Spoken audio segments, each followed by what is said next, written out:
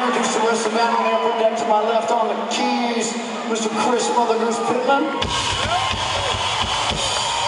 On the drums, Brooklyn in the house, Mr. Frank Thunder Chucker Ferrera. On the upper right, on the keys and piano.